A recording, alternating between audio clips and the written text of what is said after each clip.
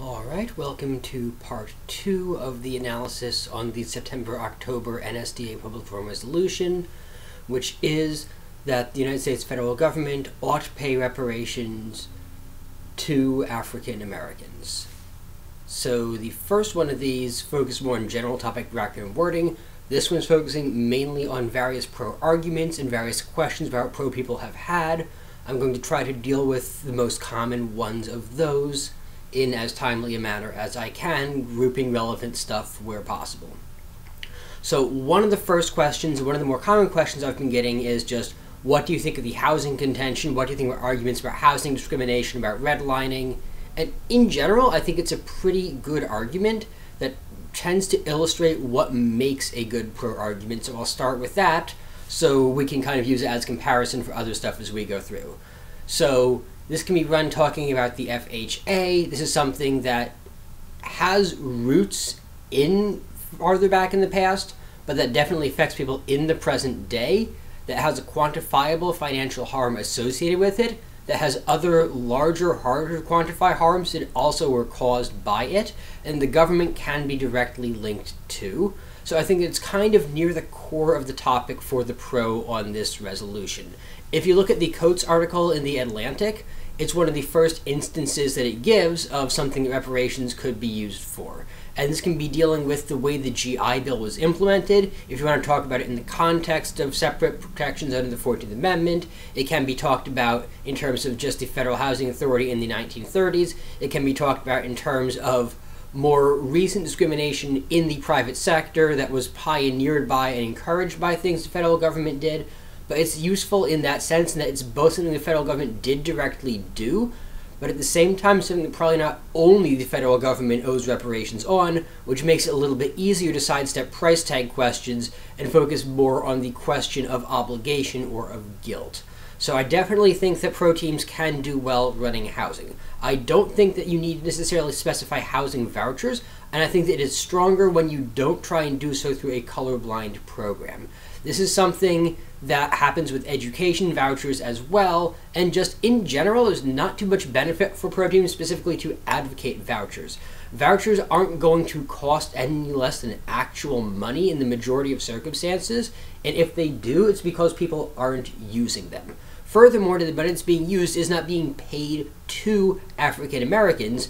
They are being given paperwork which allows them to have the federal government pay money to someone else who usually either owns low rent housing or owns a charter school that happened to donate money to the politician in question.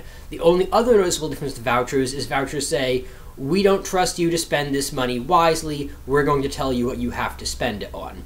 So at that point, I'm not sure that for either housing or education that vouchers are necessarily adding anything to the debate for pro, which wants to focus more on the question of are reparations owed, then what is the optimal form of reparations to pay?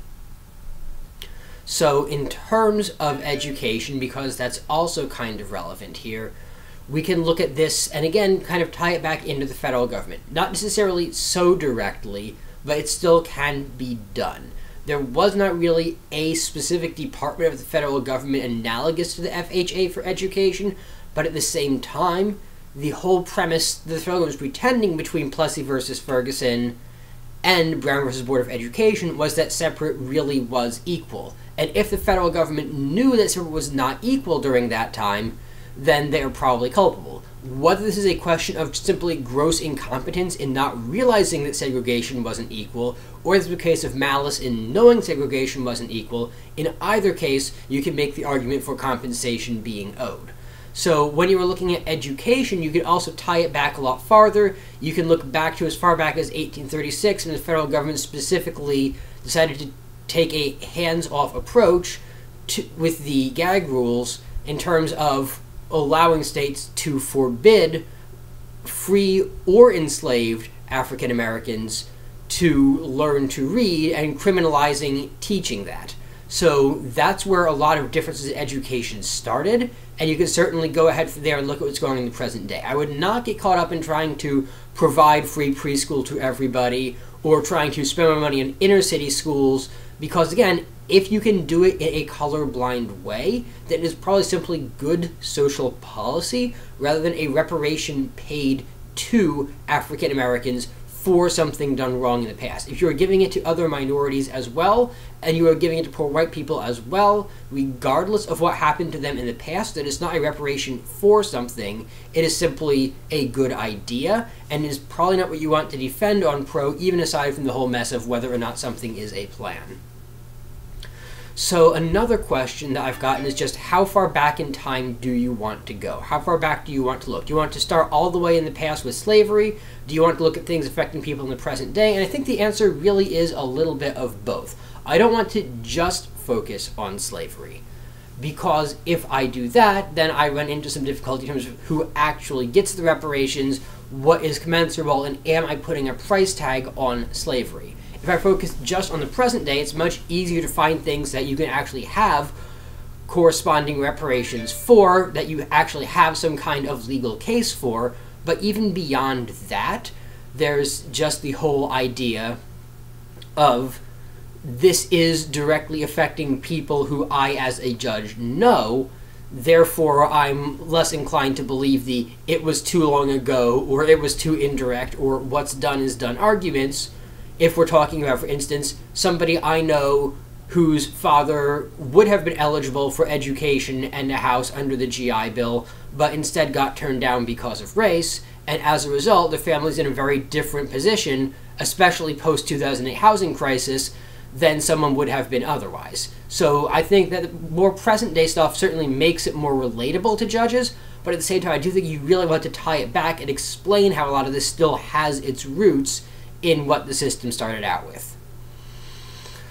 So, aside from that,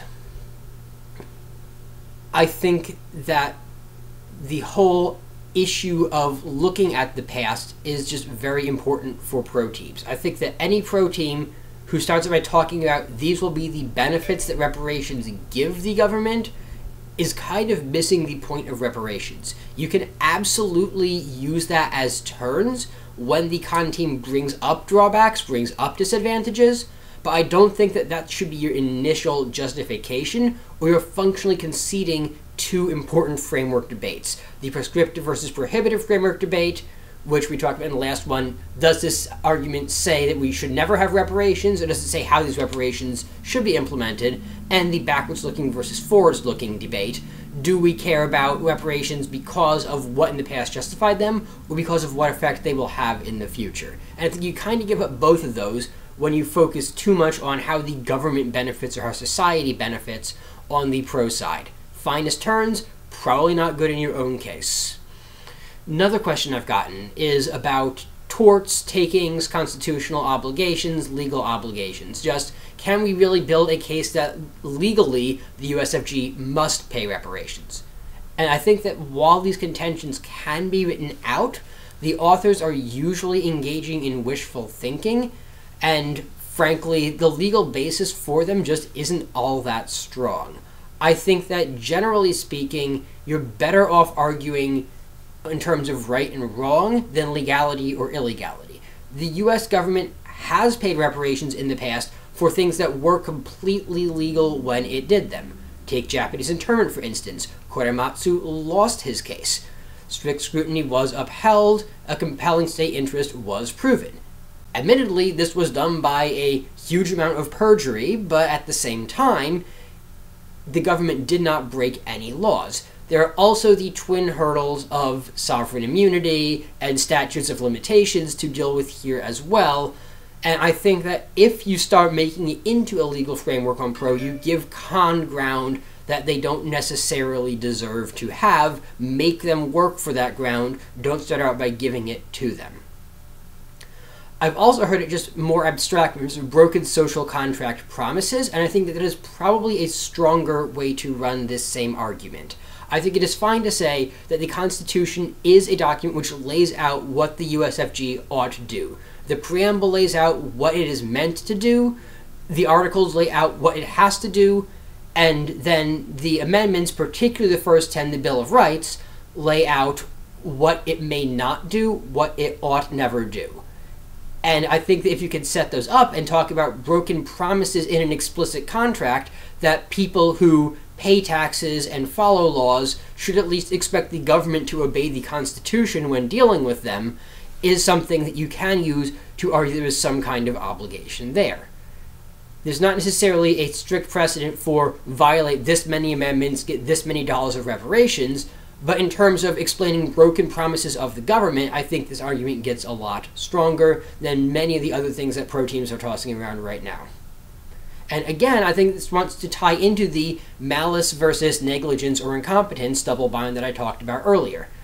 For instance, with the 15th Amendment. In 1865, it became illegal to deny someone the ability to vote on the basis of race in 1890, people were arguing specifically we are passing these voter literacy laws, we are passing these poll taxes, we are passing these other various hurdles specifically for the purpose of stopping black people from voting. And then this went to court, and the court said, yes, seems okay to me. I don't think this is violating any laws. And again, when asked, why are you doing this, the answer was to stop black people from voting, and the government said, no, no, we don't think this violates the 15th Amendment. So at that point, whether it is for total incompetence in understanding the 15th Amendment, or whether it is just malice in not wanting to enforce the 15th Amendment, in either case, there's the idea that reparations would probably be an appropriate remedy. So from there, Another question people have asked what the kind of deals with this comes with the way the 13th Amendment has developed over time. So again, in the status quo, there are more black people locked up in prison than were enslaved. One in every three black men is going to end up in jail at some point during his life. If people are accused of the same crime, the black person is more likely to be convicted. If people are convicted of the same crime, the sentence is going to be more severe or longer for the black defendant the vast majority of the time. And the idea that this is kind of creating a new slavery system through the prison industrial complex can be a strong argument for pro. It actually runs into more definitional trouble than it runs into teleological trouble. And what I mean by that is it tells a very strong story of a wrong that is being done that needs to be fixed. What it does not do is necessarily show how reparations are the appropriate remedy. Reparations are generally for something that happened in the past.